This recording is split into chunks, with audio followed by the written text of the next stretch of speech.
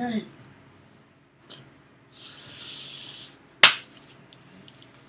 What do you think?